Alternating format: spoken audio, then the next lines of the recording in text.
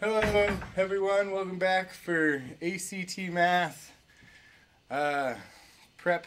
We're prepping for the ACT exam. Today we're going to talk about plane geometry. So we're going to talk about angles and formulas and all that good stuff that goes into plane geometry. Um, hopefully, what, like I've said before, hopefully a lot of this is review for you guys and you've learned a lot of these concepts in your math classes over the past few years. So um, without further ado, we're going to get started right away um, and we're going to talk about angles for a second. So here we go.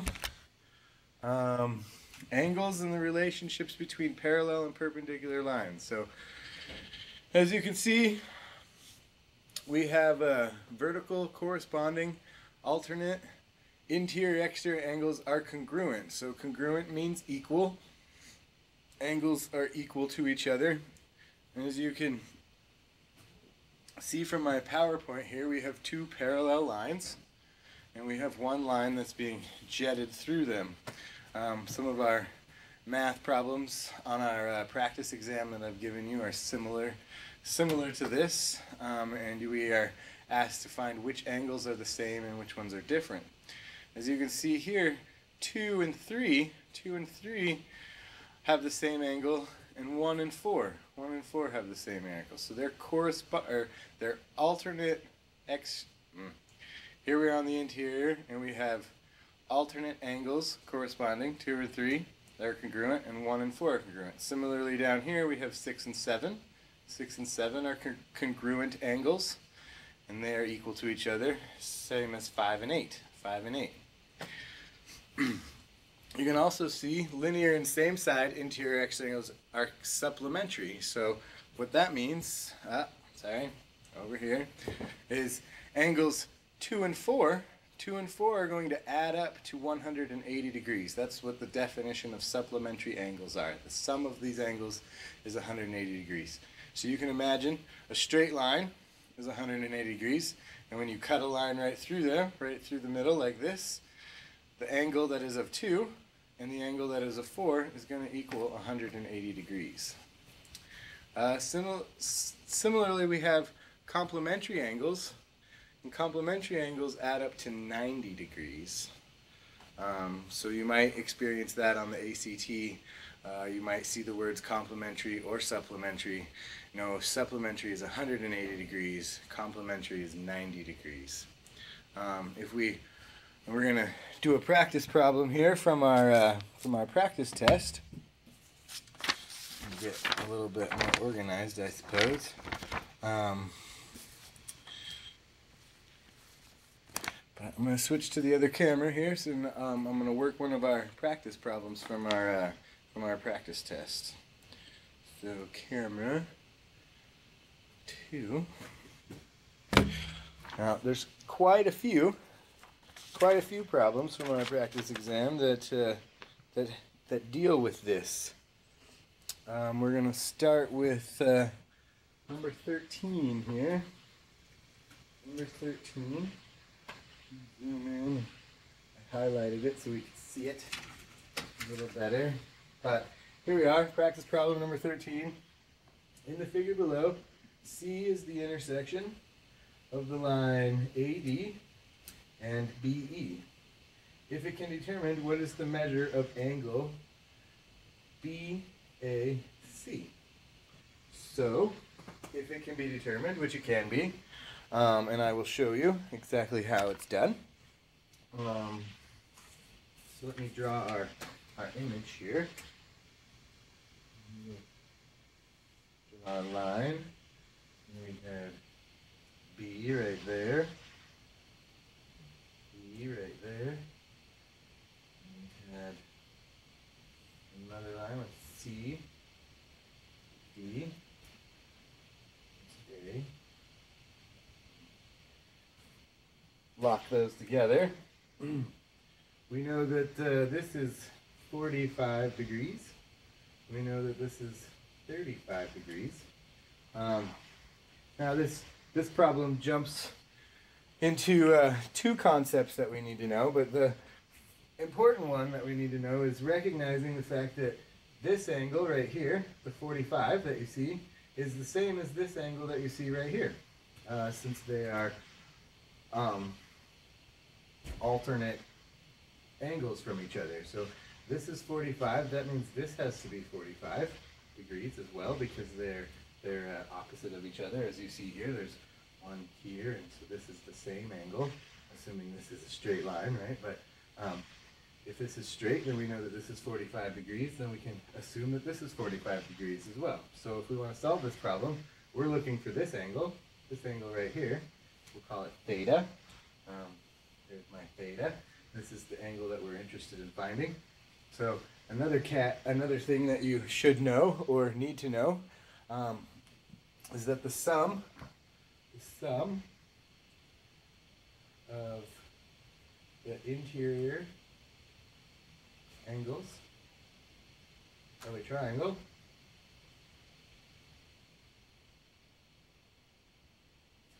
equal 180 degrees. So if that be the case, that be the case, we can find this angle that they've asked us to find by simply taking 180 minus 45, because we know that that is the same as this, because they're alternate interior angles, minus 35. And when we do that math, we get 180 minus 45 minus 35 equals 100. 100 degrees. Uh, as you can see from our answer sheet here, 100 degrees is a choice of B. So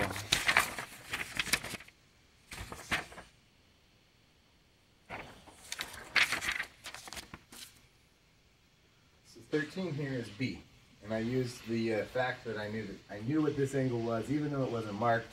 I knew what this angle was because it's got to be the same as the as the opposite side of it, as you see here. So that's how I would work that problem. a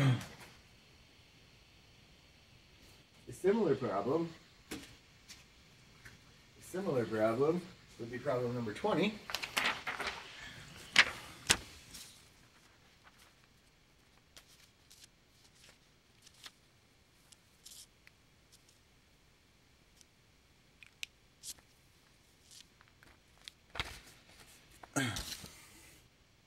Better yet, problem number 17 here is a little bit, uh, well, we'll go in order as best we can, but problem number 17 is uh, of the same, is of the same sort. In a plane, the distinct lines AB and CD intersect at A, where A is between C and D. The measure of angle BAC is 47 degrees. What is the measure of angle BAD? So let me draw you a, a picture of what this, of what this looks like. Um, zoom out a little bit. So, in a plane, the distinct lines AB and CD intersect at A. So, here's my here's my A. Oops. Sorry. It's not not okay. Sorry. Here's my line CD. And here's my intersection point at A of line AB. So there's line AB. And they intersected A. In the plane, the distinct lines AB and CD intersected A. Here we are. Where A is between C and D. True. The measure of angle BAC, BAC, so this angle, this angle right here has to equal 47 degrees. So as you can tell, my uh, picture didn't uh, do enough justice. We can see in this in this picture that this angle is much greater than 47 degrees, but uh, I'm marking it as 47 degrees. And uh, from the story problem, I've drawn a picture that, that fits everything into the story problem. A is the intersection of, or A is on the point CD, on the line CD, and it's the intersection of these two lines. So we assume that this is 47 degrees. Um, and we are asked to find this angle, so we'll call this angle theta, or a question mark. And the important thing to know is that two, two angles on a straight line, a straight line, straight line is equal to 180 degrees. So these are supplementary right here. From here to here, if you were to count your rotation, you would imagine you would be rotating 180 degrees. So if that be the case, then from here to here is also 180 degrees. This is also 180 degrees. This is 180 degrees. And we know that this is 47, so if we want to find theta, we simply have to take 180 degrees minus 47 degrees, and that will give us our, our angle just on the other side. So 180 minus 40 is uh, 140, minus another 7 is going to give us 133. Um, if you look here at our choices, uh, zoom in a little bit, um, you'll see that our best answer is D, 133. 133 degrees uh, is what angle BAD must be. All right, so that's uh, quick rundown on angles. Um, I have another problem here from our practice test that we'll also do. And like that. So we'll look at uh, number 20. Number 20 in our practice exam. Number 20 is, it's right there. So there it is. So here we have a, a trapezoid. Trapezoid. Trapezoid ABCD shown below. AB, AB is parallel to DC. The measurements of the interior angles are distinct, and the measure of angle D is x. What is the degree measure of A in terms of x? So the degree of angle A. So let me draw our picture so it's a little bit bigger.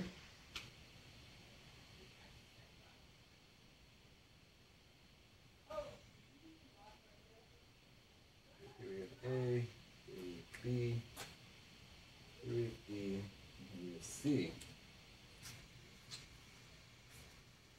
We know that this is x degrees.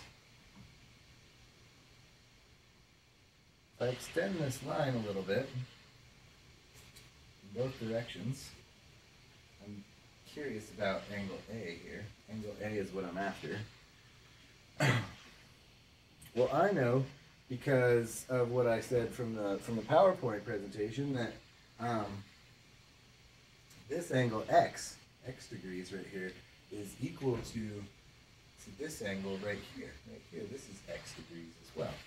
And we know from our last problem that a full line, a full line makes 180 degrees. So if I want to find angle A, well, I simply need to take 180 degrees and minus the x degrees, and this will give me give me um, the rest of what is left over to complete my 180. So um, I'm going to go with 180 degrees minus x degrees is equal to angle A. Um, as you can see here from uh, our answer choices in problem 20, that's uh, sure enough 180 degrees minus x degrees um, is our answer. Answer F. F is the correct choice here. So we need to know that this angle is the same as that angle, and we want the opposite of that. So we take 180 they're supplementary, so we take 180 and minus the x degrees, and we have what's left over for angle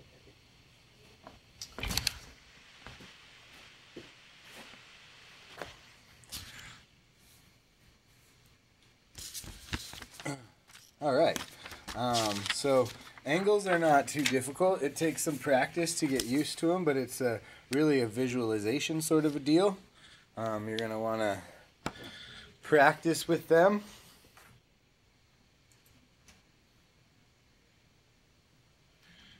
We'll move back to camera one. So you're going to want to practice with them, um, play with them a little bit. there's lots of practice problems online for plane geometry and knowing your angles facts. Your facts about angles. Options.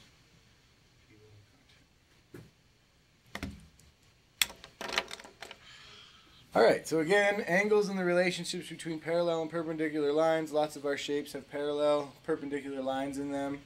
Um, it's important to know the how how this guy works. This guy right here. So one and four are opposite corresponding angles. Three and two, same with five and six, seven and or five and eight. Sorry, seven and six, and then of course one and five is the same. Two and six is the same. Four and eight, three and seven. They are. They are all corresponding to each other. So that's a little bit on parallel and perpendicular lines and the relations between their angles. The next thing we're going to need to know is uh, all the properties of circles. You're going to need to know lots of formulas for the ACT um, and lots of formula, all the formulas for our different shapes and be comfortable with our different shapes. We have some technical definitions, right, for uh, arc length here. Um, I have an arc length problem that I will do with you. Uh, here we have a, a sector of a circle, and then this line is called a line segment. Notice it does not go through the middle. I have written up here uh, radius versus diameter. Excuse me. Um, the radius starts at the very middle. Okay, so it's going to be right here, right here at the very middle, and it's going to work its way out to the end to the edge of the circle. So the radius starts in the middle and works its way out. The diameter is two times the radius. The diameter is any line that goes straight through, all the way through the circle, but it has to go through the middle. If it goes through like this on the side, this is not a diameter. This is just a line segment. Um, I've heard this called something else before can't come to my mind right now, but this is not a diameter. So this is this is not helpful in most mathematical situations. What we're looking for is radiuses. Notice the the formulas have r, r squared here for area, and r for circumference. Um, the radius is going to be the most useful thing for a circle. So we want to keep in mind the radius starts in the middle and works its way out. Talk about the word circumference really fast. Uh, circumference is a fancy way of saying perimeter for a circle. That's basically what the circumference is. Um, the circumference is the, the distance around the circle. Notice the units uh, for area, it's square units. So we, we're squaring something here. And notice for circumference, it's just, it's just a length. So it's 2 pi times the radius and it's just going to be inches or feet or miles, whatever. The area up here is going to be inches squared, miles squared, square miles, square feet. So it has a different units for that.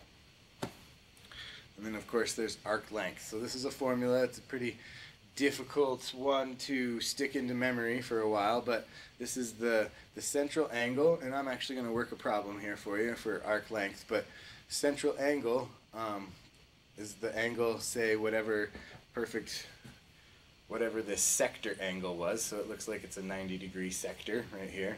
Um, but if you were to take that, divide it by 360, and then multiply by 2 pi r, you would have the length of the outside arc that you see here. This arc. This arc right here in green. If we knew what this angle was, we could calculate the length of this arc. And we're going to do that right now with a practice problem.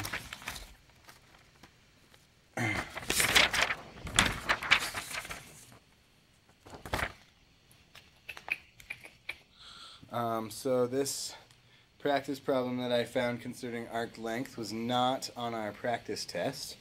Um, I could not find any arc length problems on this on the particular test that I gave you, but um, uh, it's definitely fair game and possible to see this on the on the exam. So here's an ACT question that you see.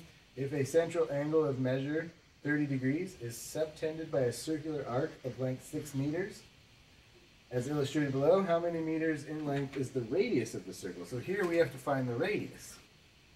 So let me draw our circle a little different. Uh, it's in green. There's our circle. And we know that from here to there is 30 degrees. We know that this length right here is 6.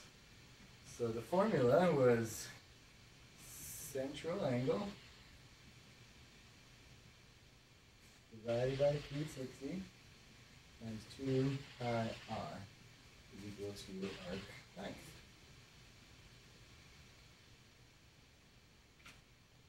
To arc length. So if that's the case, if I know this, and I know these two pieces of information, I can I can solve for the radius. So how are we going to do that? We're going to say 6 is equal to, because it's the arc length, the central angle, 30 divided by 360, times 2 pi r. And I'm going to solve this problem. Uh, this simplifies down to 6 is equal to 1 over 12. Um, 2 pi r over 12. And because I multiply fractions, top to top, bottom to bottom, I, I know that the 2 pi r will be on top. Uh, 12 times 6 is, oh, I don't know. Solving this problem, 12 times 6 is 72. So I end up with 72 is equal to 2 pi r. Divide by 2 pi. Divide by 2 pi. Those cancel out. So r then, r then is equal to 72 divided by 2, which is 36. And it's still over pi. I didn't, uh, I didn't want to deal with that. I took the 72 over 2 and got 36, but the pi is still on the bottom, as you can see here. So the radius then is equal to 36 over pi, whatever that number be. Uh, we could figure that number out, but it's more useful here because as you can see um, from our problems, that D, D is the correct choice here. D, 36 over pi. so that's how you solve problems using an, the arc length formula. Um,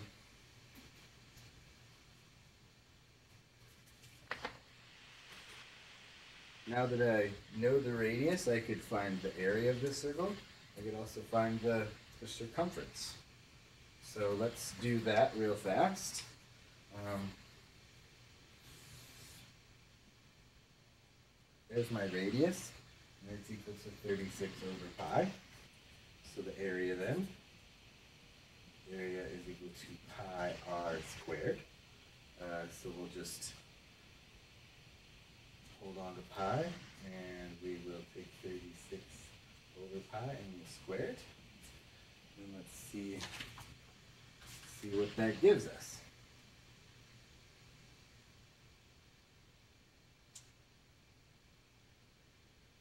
So 36 divided by pi squared is this horrible number.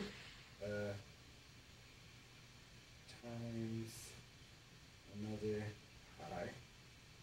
Over this number.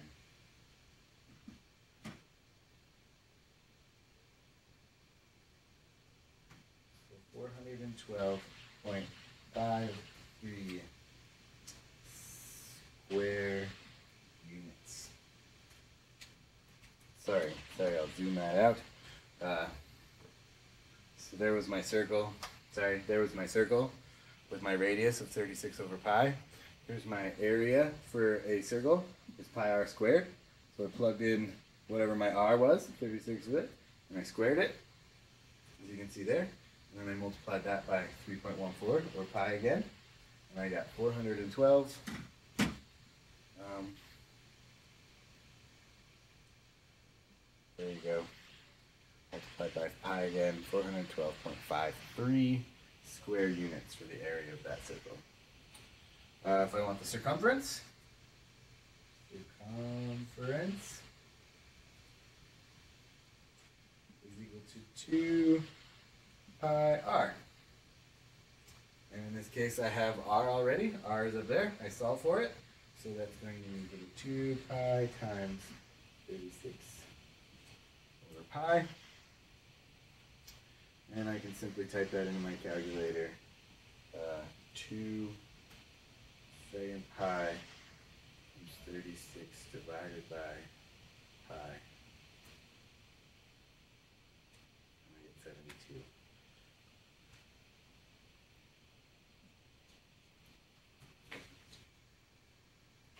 Seventy-two, just units, not square units. We didn't take an area. We just found the distance around the circle, and it's seventy-two units if the radius is thirty-six over pi.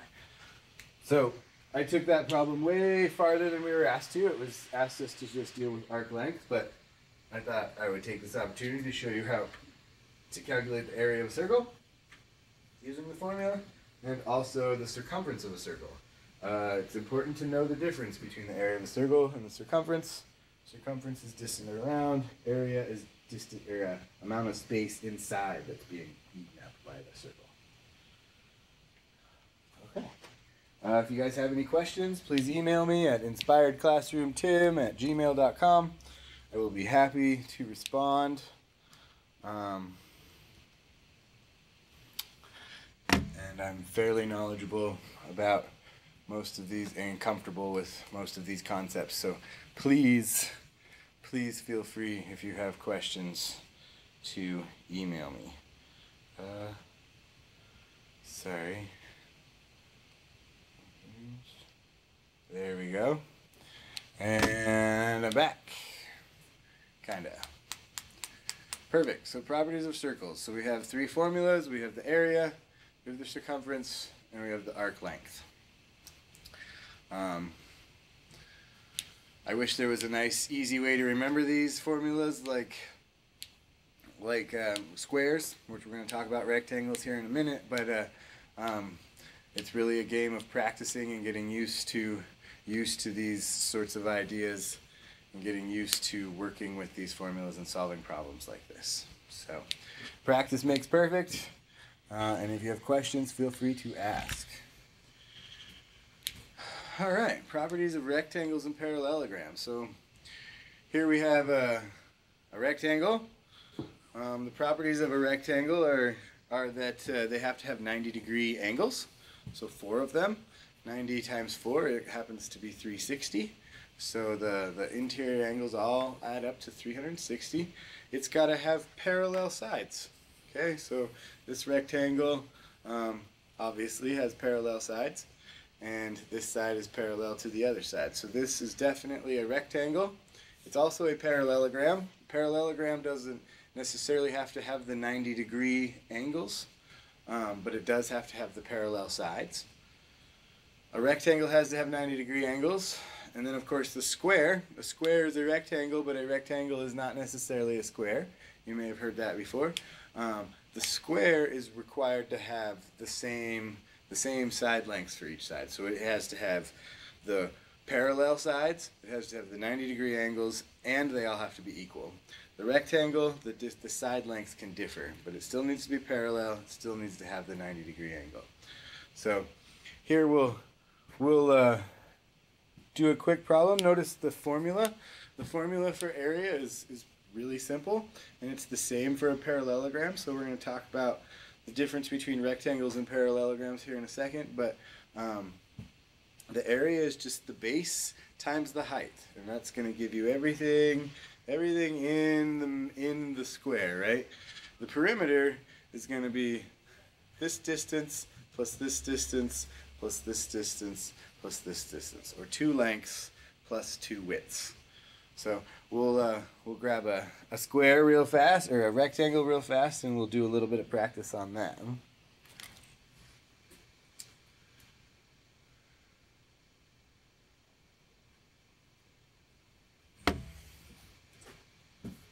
so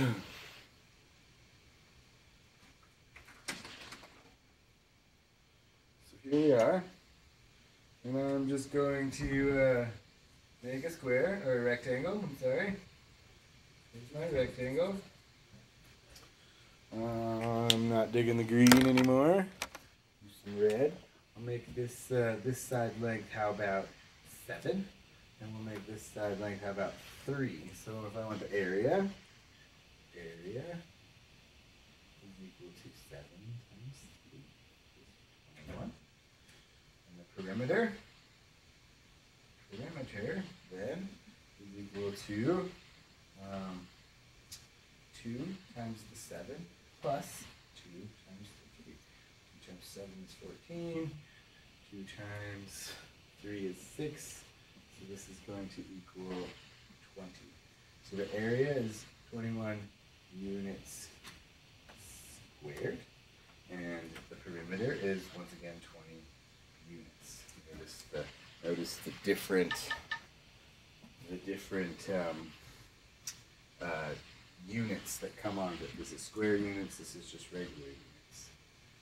So that's the area of a um, rectangle. Not difficult, just multiplying the, the two side lengths together. And that gives you all of this stuff in between. In between, all the space in between.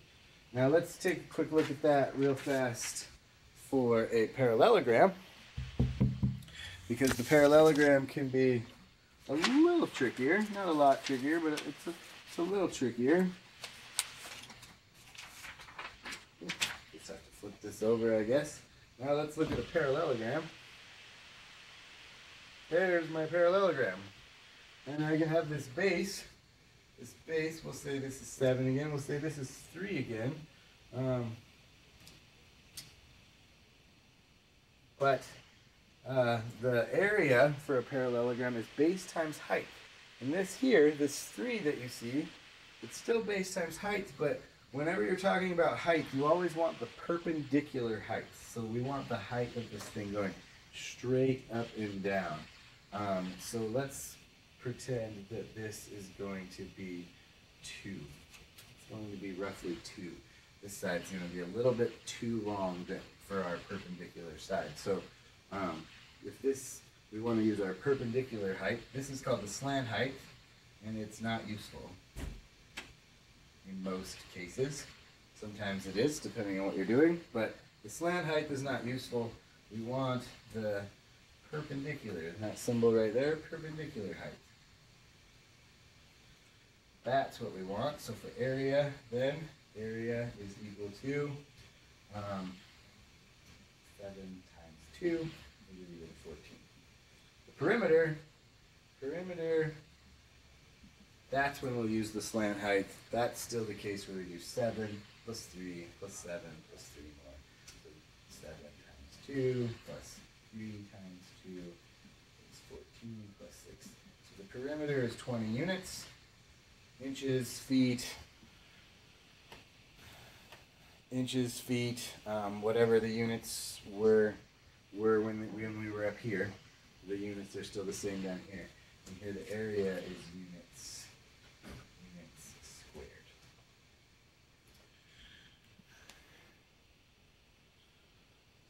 All right. So uh, the key to the big thing to remember, it's not hard to remember the four formulas for parallelograms um, or rectangles. It's base times height. The key is though that we need the perpendicular height. We always want to remember that we need the perpendicular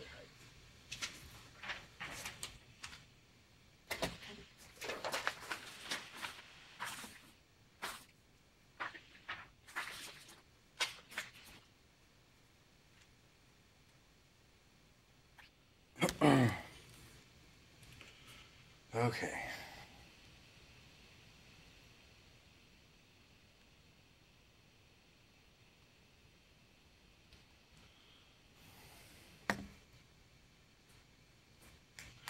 All right, so that's uh, that's the skinny on rectangles. Not too difficult. Uh, it's more of a, a practice game trying to remember these things, but if you do a few problems, I'm sure that you'll get the gist of it quite quickly. All right, now we're going to moving on to triangles. Um, all these formulas are are based off of based off of the idea of a rectangle, right? So um, I want to talk to you about triangles. We have different kinds of triangles. We have the equilateral triangle, which means that all the sides are the same. Okay, we have the isosceles triangle. This one right here that you can see, this is an isosceles triangle. Uh, it's got one side that's different, but it's got two sides that are the same, which means it's got two angles that are going to be the same as well. So I have a practice problem with isosceles triangles. Scalene triangles are your triangles that have all different sides. So this yellow triangle that you see here is a scalene triangle. Um, the angles are all different.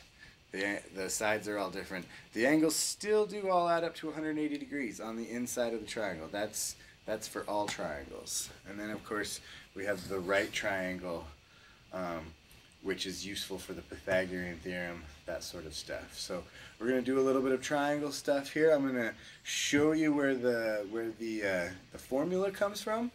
Um, because it's derived, of course, from the rectangle. So, and as you can see, it's one half. It's one half base times height. So let's see if we can deduce why it's one half of the base times the height.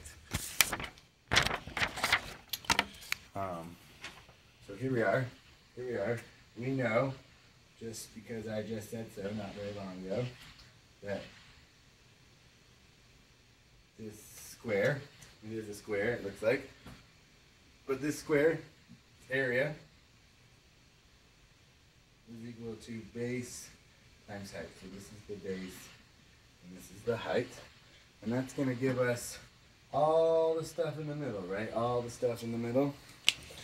Um, it's going to tell us how many boxes we have in here. But you can imagine, you can imagine that uh, since I don't have, I don't have a, a rectangle, I'm, I'm talking about triangles talking about triangles, so you can imagine if I drew a line right smack through the middle, now I've got one triangle up here and two triangles up here. I've got, I've got two different triangles. So the formula, formula area of triangle, formula of the triangle. The conference recording has failed.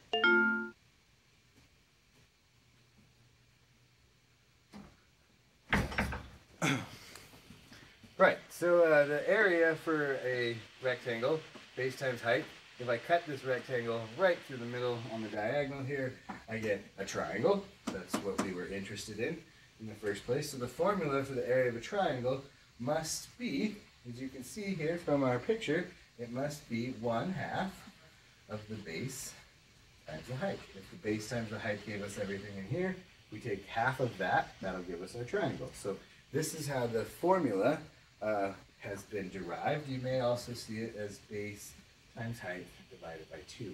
Both of these are the same thing because when I multiply by fractions, when I multiply fractions, it's top to top, bottom to bottom. 1 times b times h is b times h. 2 times 1 is 2. So these two formulas are the same thing. Same thing. 1 half base times height or base times height divided by 2. So let's do some triangle problems. Um,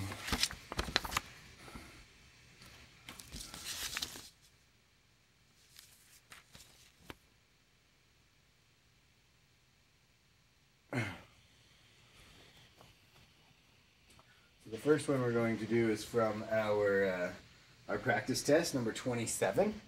I'll zoom in on number 27 here.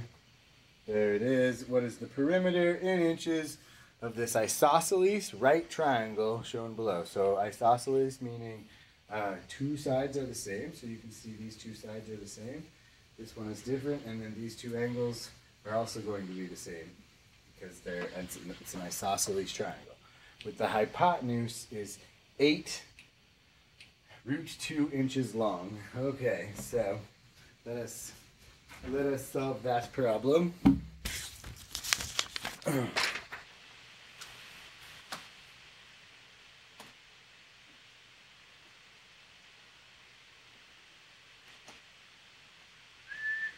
Okay, let me draw my Let me draw my triangle.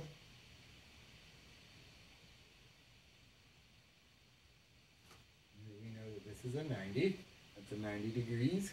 We know that our hypotenuse is the longest side is uh, 8 root 2. Um, since this thing is isosceles, we know that this is A and this is B for the for the Pythagorean theorem.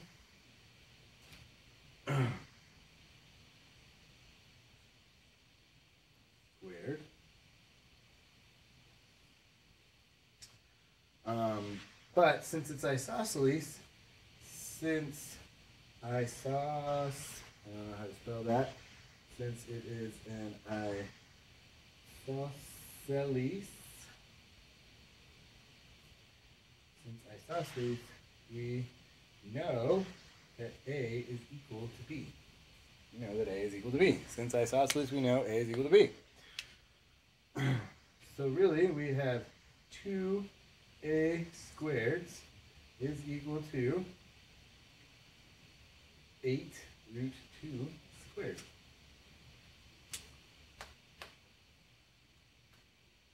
Uh, squaring this, we get 64 and 4. We can do, we can do this in our calculators as well. 8 root 2. There it is. 2 to 2. It's going to be 128. So 2a squared is equal to 128.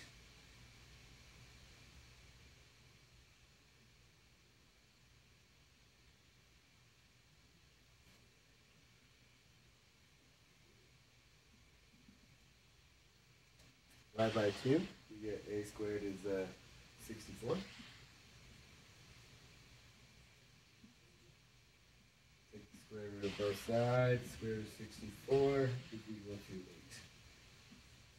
So the side lengths must be equal to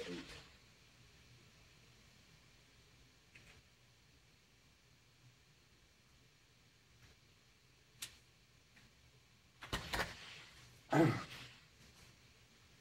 From our answer sheet.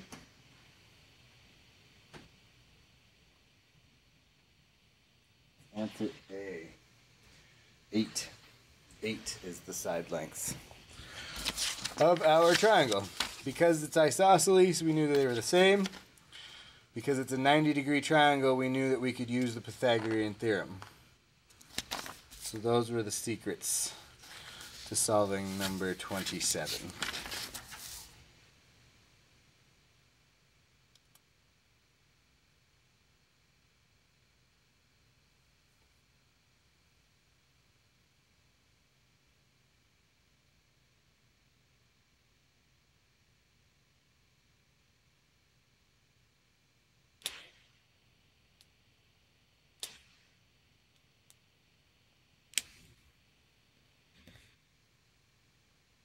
Oh my goodness.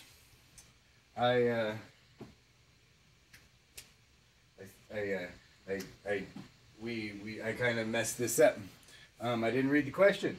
What is the perimeter? What is the perimeter in inches of the isosceles triangle? I found the sides. Uh, the sides are definitely eight, right? Um, I'm good with that. But uh, I didn't finish the problem. I need the perimeter. So I need eight plus eight plus uh, the 8 root 2. So E. E is our answer. It's 16 plus 8 root 2. Um, because I didn't calculate. I found the side lengths. A, 8 is the side lengths, but uh, it wants me to finish the problem. So let that be a lesson to us. We always need to read the problem thoroughly, through and through. Um, the perimeter is 8 plus 8, which is 16, and then plus of the hypotenuse of 8 root 2. So E. E is our answer. Excuse me there. I have another problem that has to do with triangles.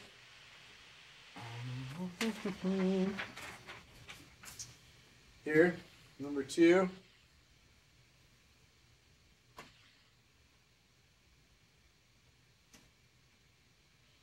As shown in the figure below, angle ABC is isosceles. with lengths AB equal to the lengths of AC.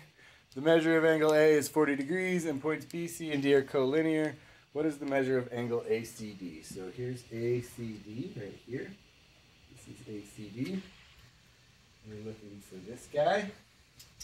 Uh, and since we know that this is an isosceles triangle, we know that these two angles are the same. Are the same. And we have a triangle, so triangles equal 180 degrees. Triangles equal 180 degrees. 180 degrees minus 40 is 140 degrees. So there's 140 between B and between C, so I'll divide that by 2. That tells me there's 70 degrees. So this right here has 70 degrees, and this right here is 70 degrees. And then this, this other fun fact, the other fun fact that a straight line is 180 degrees. So here, uh,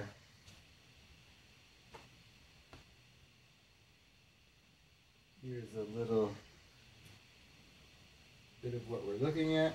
I know that this is 70 degrees, and I'm looking for the question mark here. So 180 minus 70 is equal to 110. 110 degrees.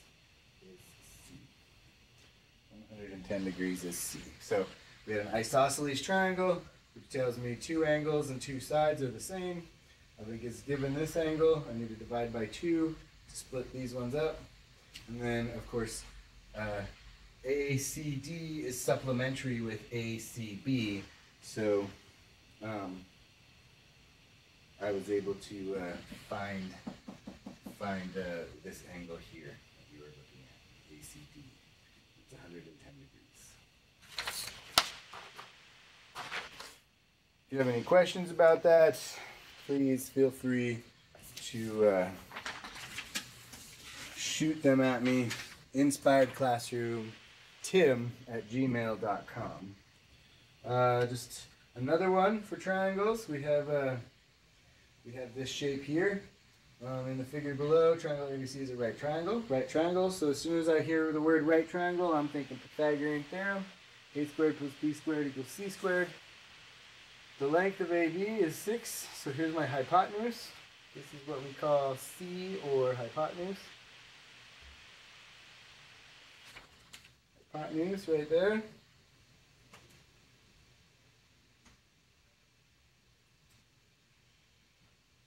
What is the length in units of AC? So we're looking for this side. So we know that we have 3 squared plus b squared equals 6 squared. Plugging it into the Pythagorean theorem. Solve this a little bit. This is 9 plus b squared is equal to 36. Minus 9 minus 9. b squared then is equal to 27. Okay? And so b is equal to the square root of 27. Uh, now this problem becomes a pre-algebra problem in knowing how to deal with the, the root sign. So because as you can see from our choices over here, we have no root 27s. So we have to simplify this, and you can. Uh, you can write this as square root of 9 times 3. 9 times 3 is equal to 27. Square root of 9 times the square root of 3. Square root of 9 is 3. Root 3.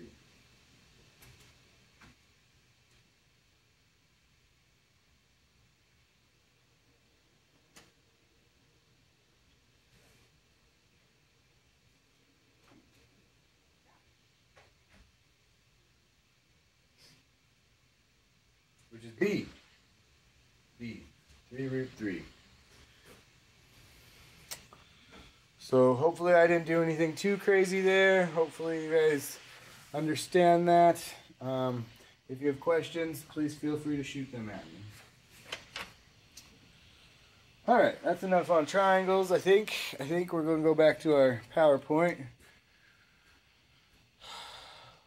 and we'll. Oops. Oof. People on content. Perfect. Uh, so I derived the formula for area Square units, remember that. Equilateral triangles, all sides, all angles are the same. Isosceles triangles, two sides, two angles are the same. Scalene triangles, everything's different.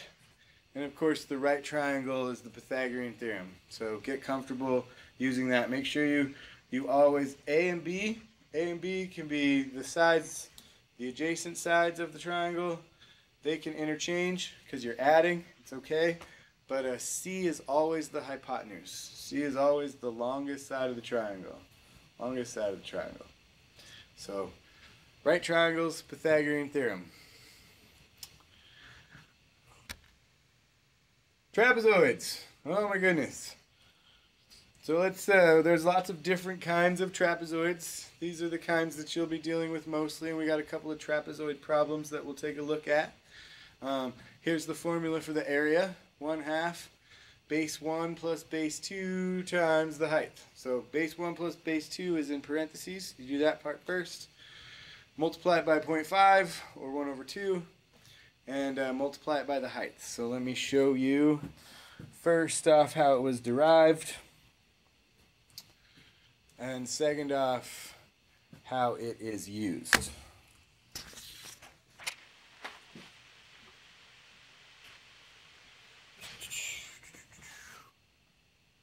So here we are. Here we are. Here is my trapezoid. Here's my trapezoid. And we're wondering how we got the, the formula for area. And I'm going to tell you that now that we have triangles, now that we have a formula for triangles, I'm going to cut this thing into two, two triangles right there, right down that line right there. Notice I have triangle one here. There's a triangle here's a second triangle. Uh, so area then, area then would be equal to the area of triangle 1 plus the area of triangle 2. Right? Perfect. Well, we know the formula for area of a triangle 1 is going to be, we'll label this base 1. So it's going to be base 1 uh, times the perpendicular height, right? The perpendicular height of this thing. So the perpendicular height of this triangle is right here. It's right here. This is going to be h. Notice that it's the same height as this one right here, is h. Okay, so the perpendicular height going to be h, and it's going to be half of that. So that's the area for triangle 1, plus b2. So we're going to make this down here, this is going to be base 2 for our second triangle, times the height, times 1 half from the formula. If you look at this formula, we see that we have an h that's common here, h is common there and there. We have a 1 half. 1 half, that's also common on both of them.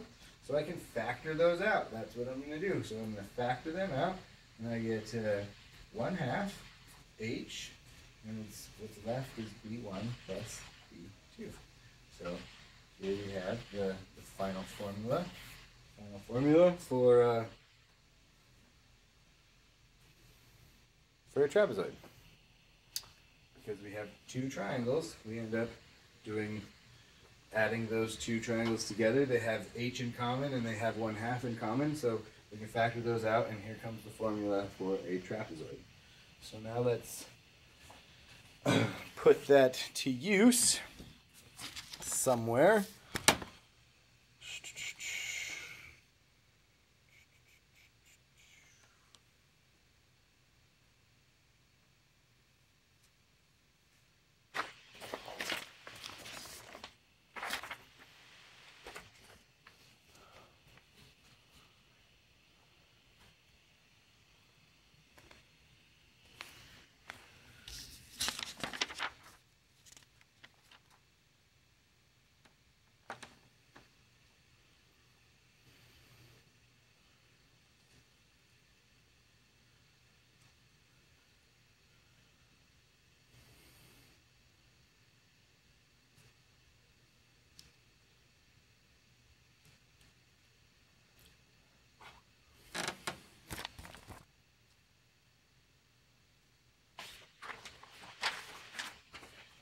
Sorry about that. So here we are. Here we have, uh, uh, this is a practice problem from a different set of tests that I that I've been that I've run across, but it still applies. So in the figure below, AB and CD are parallel. AB and CD, the lengths are given in units. What is the area in square units of trapezoid ABCD? So we know that area, because we just figured it out, is equal to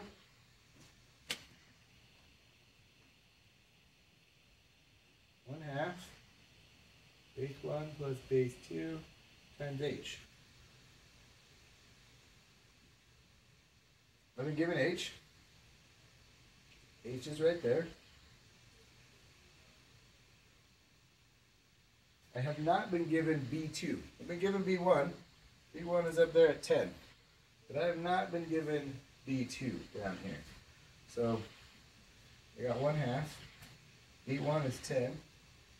I need to be 2, and my H is 4.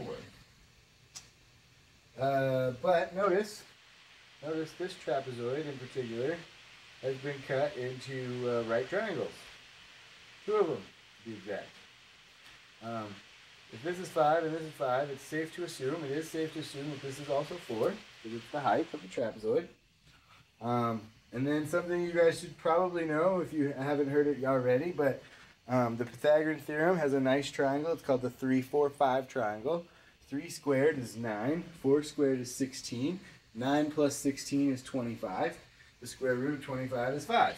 So a 3, 4, 5 triangle is what we have here with sides 3, 4, and 5. And that, and we know that this is 10 down in the middle. So base 2 must be 10 plus 3 plus 3, which must be, must be 16. So the area then of this thing is going to be 10 plus 16, which is 26 um, times 4 times a half. And you can do that in our calculator. I always, I always type stuff in all my fractions in parentheses. So there's my 1 half. And I'll just keep using parentheses. There's my 26. And finally my 4. Hit enter, and sure enough, 52. 52 is the area, the area of my trapezoid.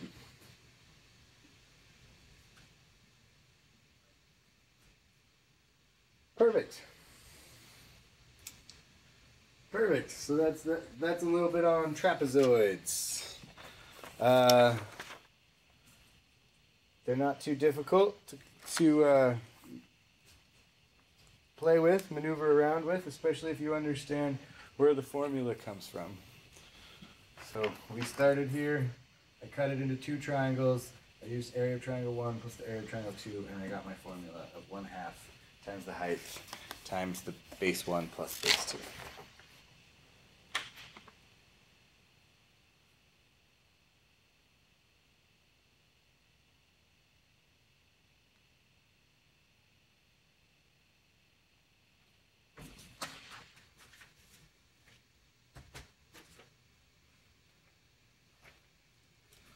All right. Once again, if you guys have any any questions or concerns or want some feedback, please um, shoot me an email, inspiredclassroomtim at gmail.com. Uh, people on content. So that's that's a little bit on trapezoids. Maybe.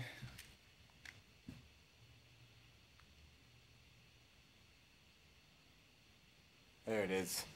So that's a little bit on trapezoids. Uh, I don't think you necessarily need to remember all the different kinds of trapezoids here. I just found this image, thought it was useful.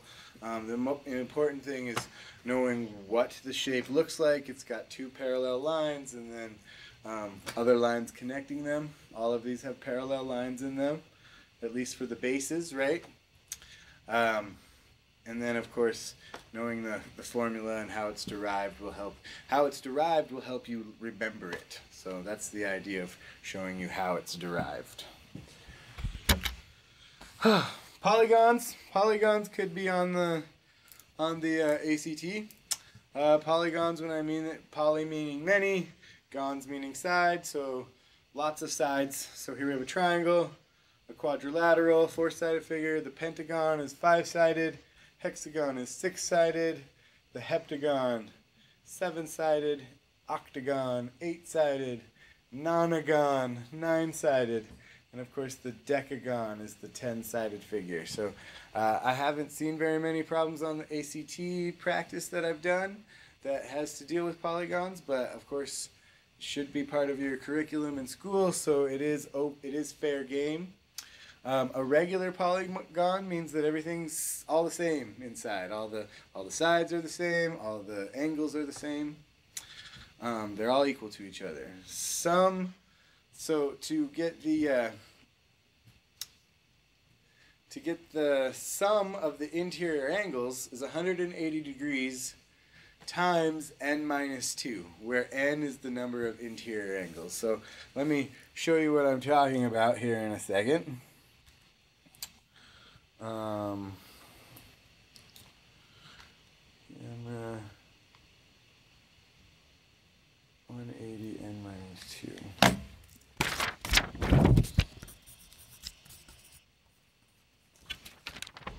where n is the number of sides, right? The number of sides. So that's the sum of the interior angles. So let's uh,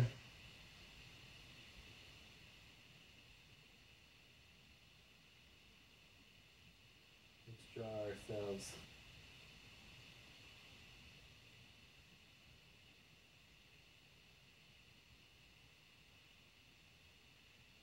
One, two, three, four, five, seven. An octagon. An octagon, so I have an eight-sided figure. The sum of interior angles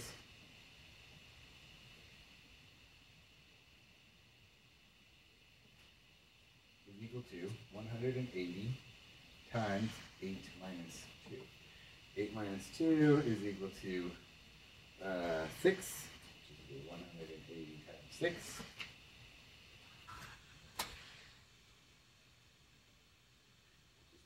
Ten thousand eighty. Ten thousand eighty degrees. All inside there. It's regular. We're gonna assume it's regular, so that means they're all the same. So I have one angle, two, three, four, five, six, seven, eight angles.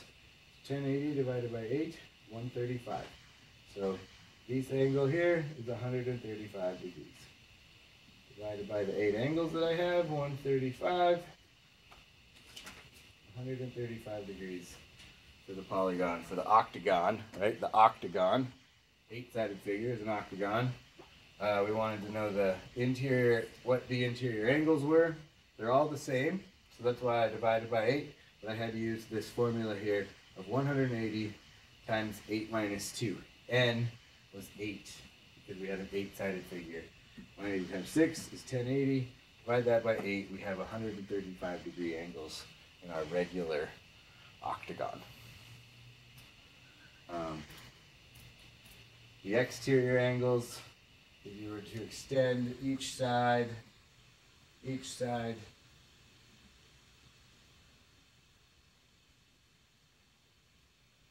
of our octagon, like so, the exterior angles would be these angles right here. And they're going to sum, they're going to sum up to 360. So 360 divided by 8, 45. So all of these angles out here are 45 degree angles. And that works for all polygons. The, the key is deciding what do I have, an eight-sided figure, a seven-sided figure, a four-sided figure. That's going to be your n, n in the formula. Um, and that's going to be the big ticket item on, on uh, solving polygon problems. Once again, not hard, uh, could take some practice, but once you get it, it stays the same, and it's pretty simple stuff. So uh, here we go. Regular means all the angles and all the sides are the same. sum of the interior angles is 180, which think about this, if you think about a triangle, right, the triangle, sorry, if you think about the triangle here, 180 degrees is what I told you equals the interior of a triangle, always. Well, if you had 3 minus 2, three-sided figure for n, minus 2, that's 1. 1 times 180 is the sum of the interior angles. So 180 for all triangles. 360 for for uh, for rectangles or quadrilaterals, and of course it goes goes up from there by another 180 degrees for each for each sideline.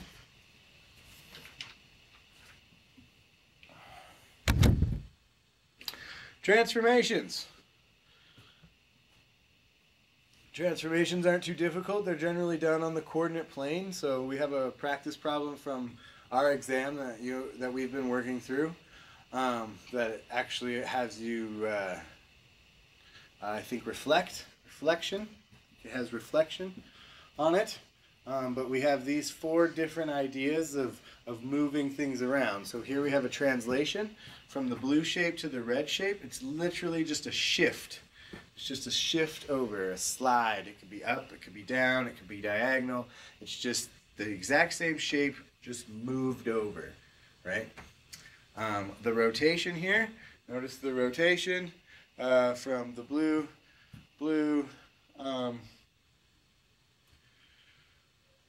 quadrilateral. One, two, three, four. Yeah, it's from the blue trapezoid. It's a trapezoid, and it's been spun over. Really, it's you can see how the uh, you can see how here's the pointy the sh the sharpest edge right right here right there the sharpest edge and then it's been spun around so now that here is the sharpest edge right right there, right there. There's the sharpest edge of it. Um, so this thing has just been a spun. It's spun rotation.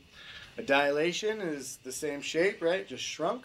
It could be bigger too. A dilation could, or an expansion, I suppose, of it. But a dilation is is the exact same shape. It, it's not being moved anywhere. It's just being shrunk down. And then of course we have the reflection, and we're gonna work on a problem right now uh, about the reflection. And notice this is a rotation. Notice here too that this is a rotation about a dot, about a point, right? So we've rotated this thing around this point. This reflection has a line over it. We've reflected over a line, over a line. So let's take a look at one of our practice problems.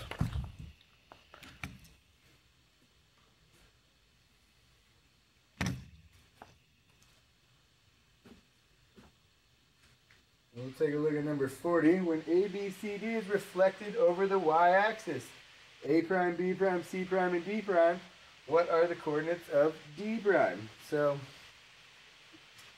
here we have, oop, our shape is way up here.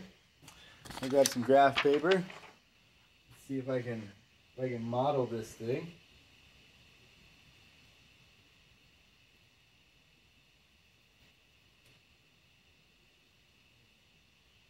I'm at the point one, two, two, one.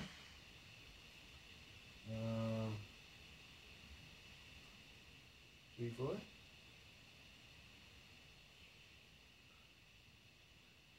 Eight, nine. The. So here's our shape. And I've actually graphed it out correctly there. And we want to reflect it, reflect it reflected over the y-axis. Over the y-axis.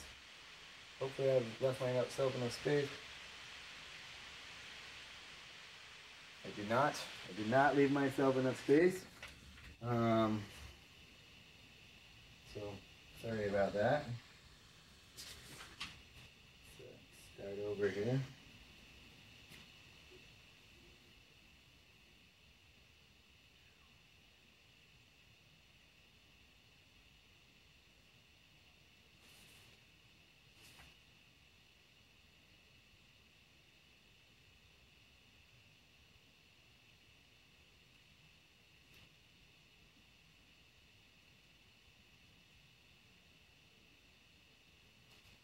All right, there's my shape.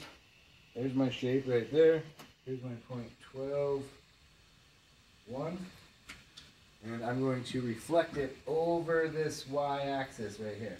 So I simply am going to basically want to fold my paper, fold my paper right along that x, x line, and wherever this guy lands is where I'm going to go. So oddly enough, he's going to land, he's going to land up here uh, on the positive side of the, of the y, but he's going to land on the negative side of the x. So if I were to fold this, fold this guy like so, you could see, you could see that this guy would land right over here. So uh, one, two, three. So it would be at the point uh, negative 12, 1. Is where that would. Uh, negative 12, 1. F. And that is a reflection. Uh, think about reflections as simply simply being like folding a folding a piece of paper, folding it in half. Where would it land, depending on the line that you that you folded it onto? So, uh, negative 12, 1 is where is where that reflection would happen.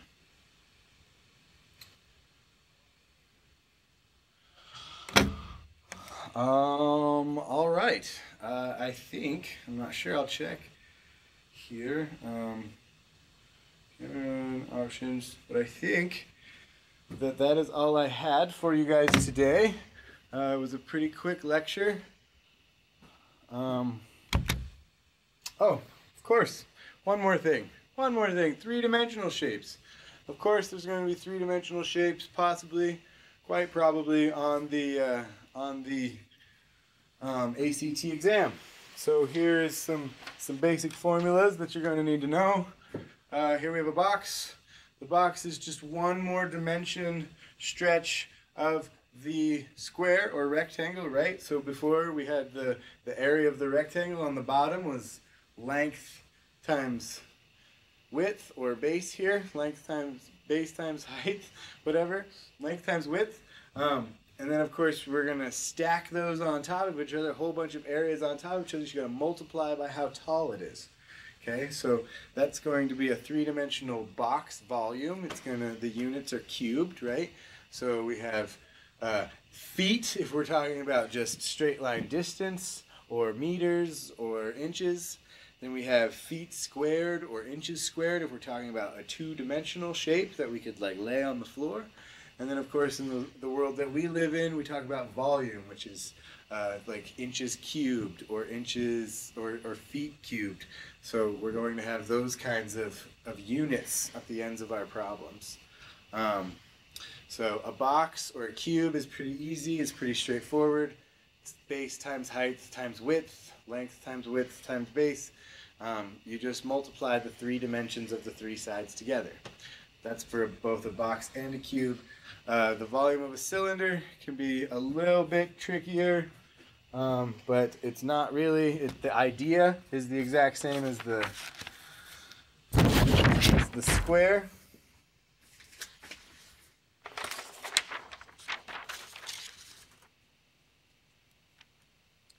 Um, we want to calculate the area of our circle, right? So 2 pi or pi r squared, right? Pi r squared is the area of a circle, and then we're going to multiply that by our height. So we'll, we'll do a quick practice problem with, with, a, with a cylinder, and um, I will send you on your way. So let's do that right fast.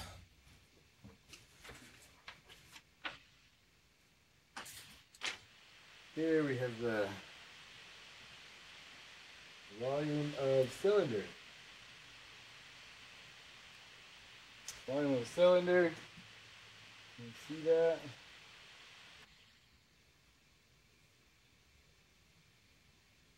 There it is. So here's my cylinder.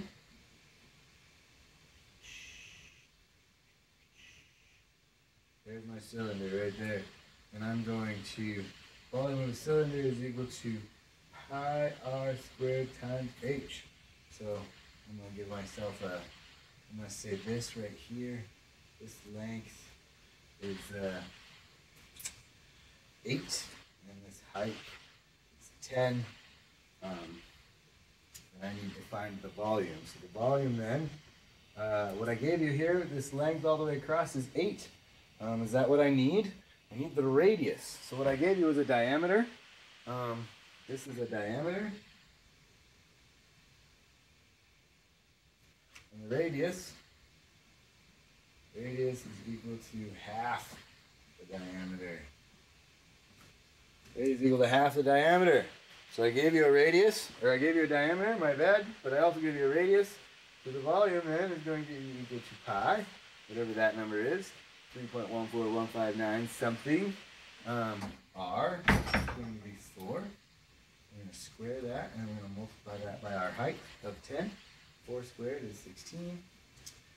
Uh, so we have pi times 16 times 10. 16 times 10 is 160 and pi is just going to come along for the ride. So the volume then is equal to 160 pi units cubed. Units cubed, right? We need to make sure we remember um, units cubed.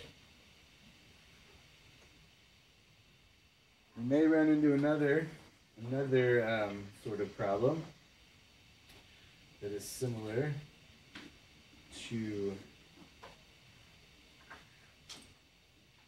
the cylinder.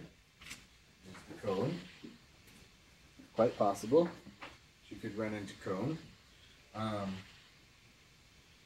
you see me draw my cone here. There it is. Uh, you can imagine I have to take away this part and take away this part, and I'm left with just one one third basically. So the cone volume is equal to pi r squared times h divided by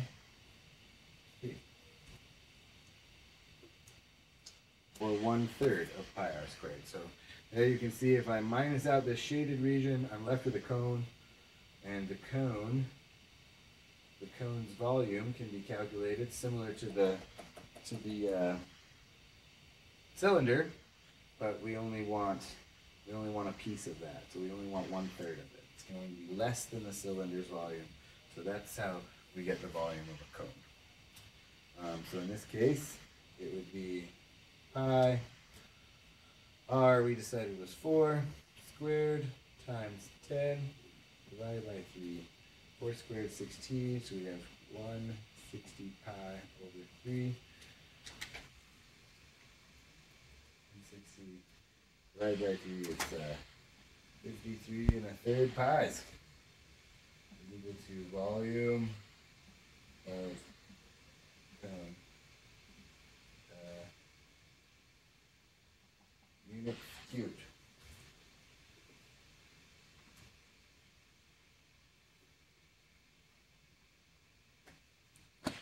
See if that focuses a little bit. Units cubed.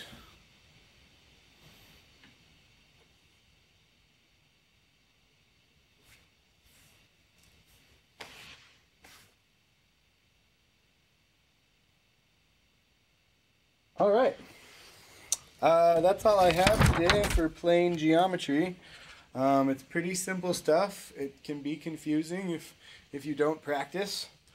Um, but the more practice you put into it, certainly the easier it will get, and uh, the more sense it'll make. Every time you, every time you work one of these problems, it'll it'll come the the big picture will come clearer and clearer each time. So, um, I suggest uh, that you uh, practice. If you have questions or want help, please feel free to contact me at inspiredclassroomtim at gmail.com. I'm happy to do what I can to answer your questions, and hopefully, this has been a good refresher for the ACT uh, plane geometry portion of the math test. Thank you for listening, and have a good day. Good job. Like exhausted. It's a lot of math for one. Yeah.